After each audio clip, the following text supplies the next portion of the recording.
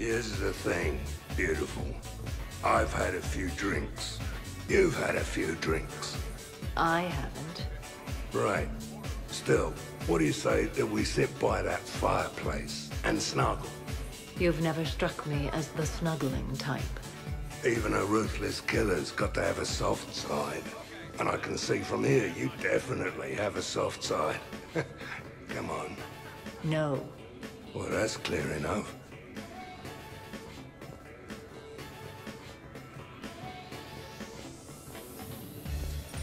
You again? I thought you were dead. You can't come in.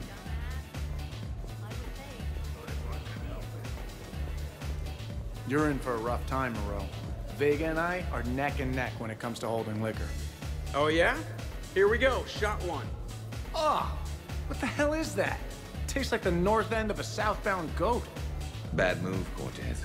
He wanted the duel, and he also picked the weapon. I brought my own batch, bro. Three parts horse choker and one part antiseptic mouthwash. That's not even a drink. And yet, here are our second shots. Unless you want to give up? That's all over. I'm gonna find a gun and let out a few rounds off. I am sober enough. You are going nowhere near the shooting range. Just make it stop. Yeah, I think we're done here.